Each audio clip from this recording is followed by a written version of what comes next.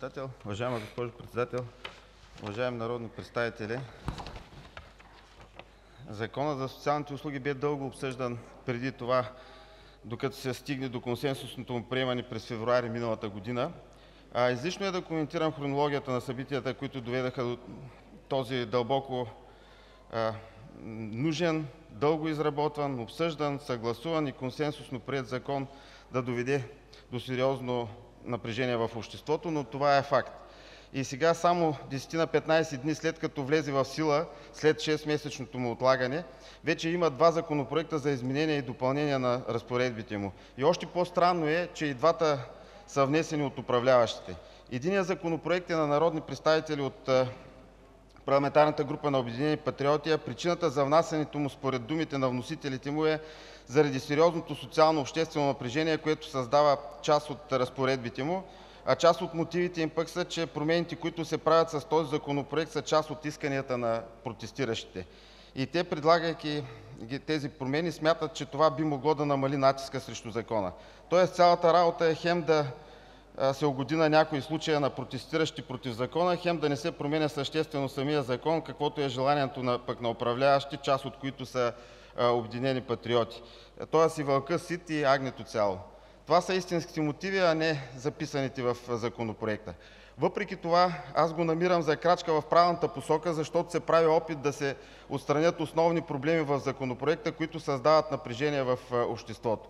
Дали този опит е успешен, е съвсем друг въпрос. Според мен не е, защото голяма част от текстовете на Законопроекта са декларативни и не носят след себе си правни последици или влизат в противоречие с други разпоредби в самия Закон за социалните услуги или пък с други закони. Например в § 1, т. 3 с новосъздадената ал. 4 предоставянето на социалните услуги не е търговска дейност по смисъла на Търговския закон.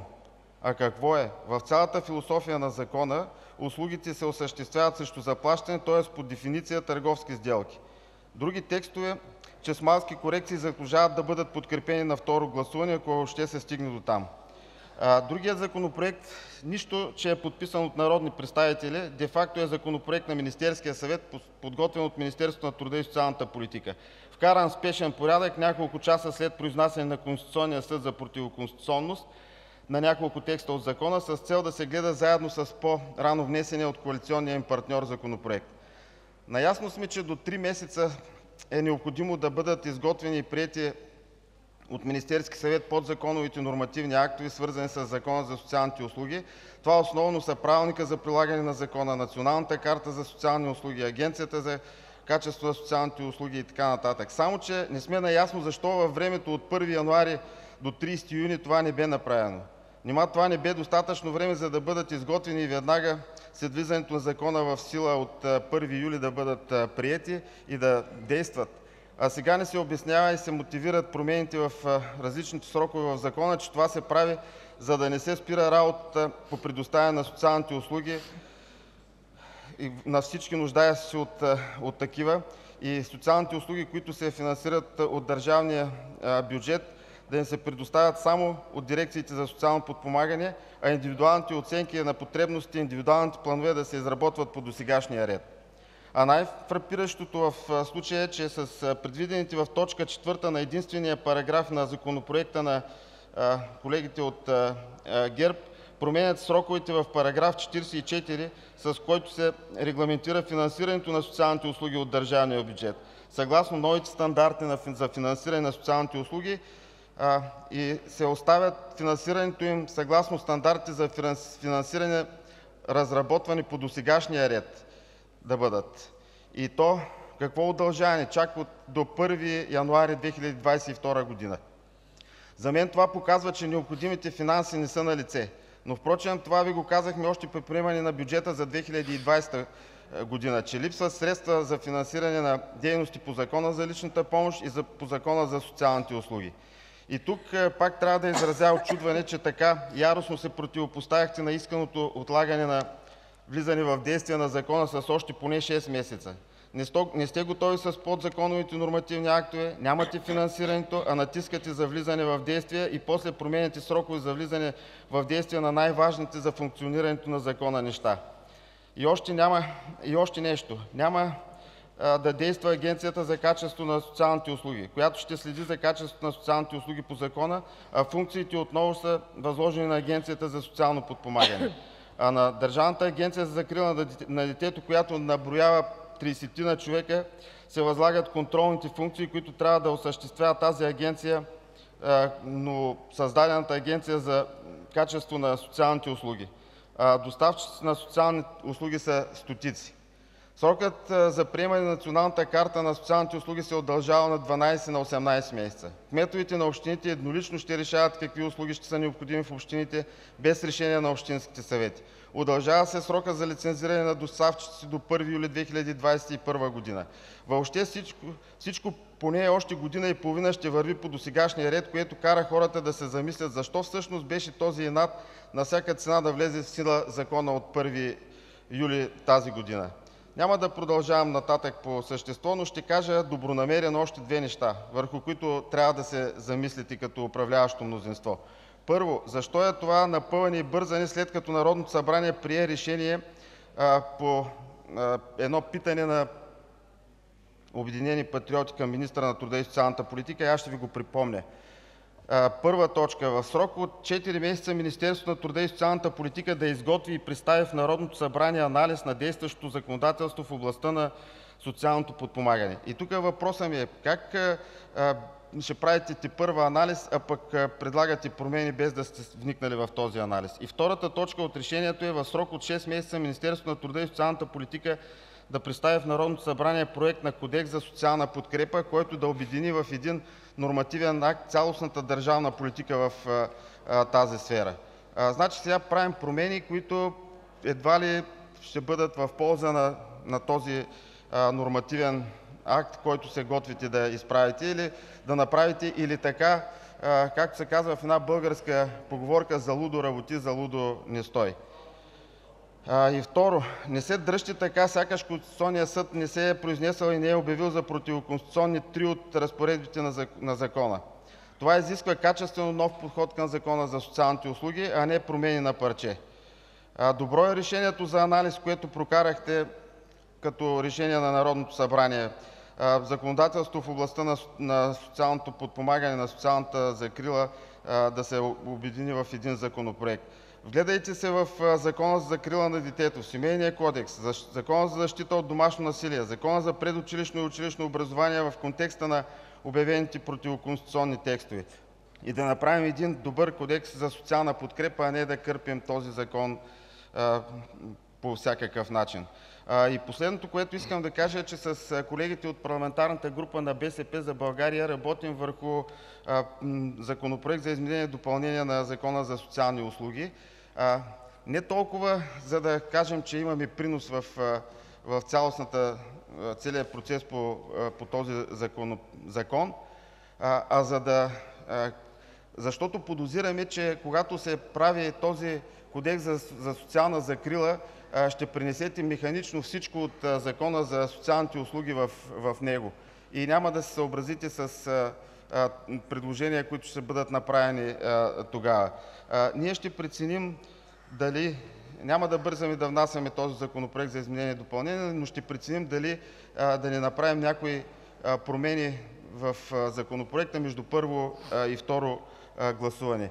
Аз Ви призовавам да се замислите върху това, което правите по Закона за социални услуги. То е ясно, че сега тези неща, които предлагате, които ги има в двата законопроекта, защото са на управляващото мнозинство, ще минат. Но аз си мисля, че няма да спрете дотук, защото има доста проблеми още по Закона за социални услуги, които ще се мъчите пак така на парче да оправите. Оставете всички неща, докато се направи поне този анализ на социалното законодателство. Благодаря Ви. Благодаря, уважаеми господин Гьоков. Реплики?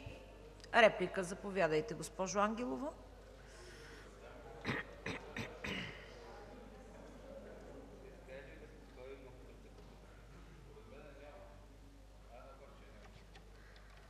Уважаема госпожо Председател, уважаеми дами и господа народни представители! Уважаеми господин Гьоков, провокирана съм да взема реплика по отношение на Вашето изказване, което беше абсолютно некоректно, като се започне оттам с отлагането влизане в сила на Закона за социалните услуги с шест месеца.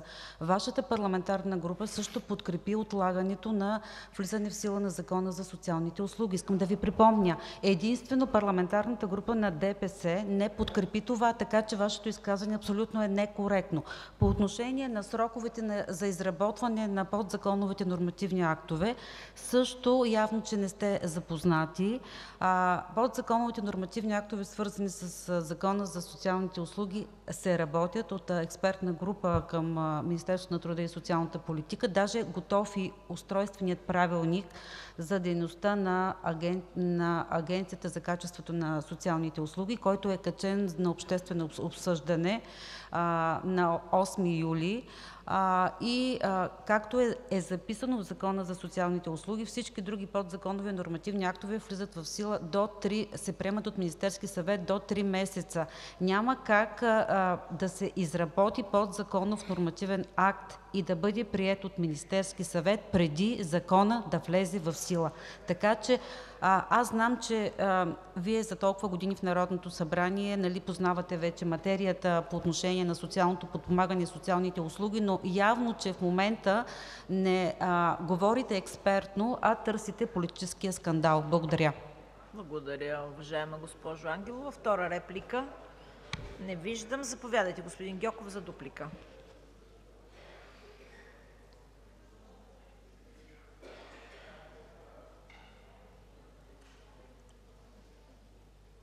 Благодаря, госпожо Председател. Уважаема госпожо Председател, уважаеми народни представители! Госпожо Ангелова, не знам как не Ви провокира нещо друго от цялото ми изказване, Ви провокират някакви неща, които са в главата Ви, да ги говорите тук? Защото аз мисля, че цялото ми изказване и говорене от трибуната беше абсолютно добронамерено и в посока на това да направим нещата по-добри, а не да правим нещата на парче. Ама Вас Ви провокират някакви неща, които аз въобще не съм мислил дори. Никога не съм твърдял, че ние не сме подкрепили отлагането на Закона. Да, подкрепихме го и аз в цялото си изказване, ако слушахте внимателно, това говорех, че въпреки отлагането от шест месеца,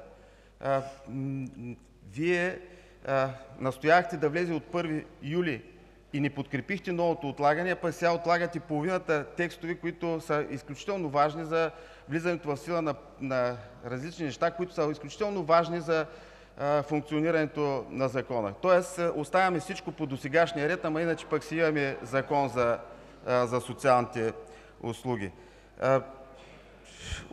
Това, че казвате, че е готов Устройственият правилник на Агенцията, която ще окачествява услугите или ще ги лицензира, е много добре. Ама аз Ви питам и Вие казвате: знаете ли, че след влизане в сила три месеца? Да, знам, ама той Законът беше приет миналата година февруари месец, да Ви напомня. Сега сме юли месец следващата година, 2020 година вече. За тези година и колко месеца трябваше да бъде готов и Правилникът за прилагане на Закона, и Устройственият правилник на Агенцията, която предвиждате, и всички правила да бъдат написани даже да бъдат обсъдени. И ако искате да спазвате някаква наистина парламентарна практика, трябваше да са готови и сега от 1 юли, след като влезе в сила Законът, да ги предложите. Защото то не пише там в Закона, че ще влязат след три месеца, а пише до три месеца, а Вие сега го направихте до една година и половина. Не виждам колко показва времето. Имате, имате време. Спокойно, аз ще Ви дам сигнал. Госпожо Ангелова, аз не знам, аз си мисля, че е по-добре да се вслушате в какво се говори от опозицията поне веднъж, защото за три години и половина не го направихте и сега не го правите, но правите големи грешки. Затова се вълнуват и хората отвън. Извинявайте, че намесвам протестите отвън, но това, което правите тук, провокира хората. Не сте Вие най-правите на света. Няма как да сте прави във всичко. Така че вслушайте се какво Ви говорят и не правете, няма да казвам глупости, но неща, които не са допустими. Благодаря. Благодаря, уважаеми господин Гьоков.